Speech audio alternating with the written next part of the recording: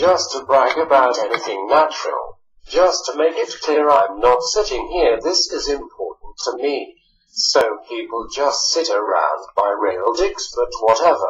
Really totally useless and uninteresting things. Sometimes all the time on the same subject. A topic you totally can do just like the weather for example.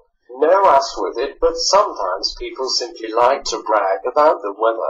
Can sometimes best relaxation. Superficial tasty dicks, yes it is, but what you feel like. Nice dicks, just dicks. Of course there can also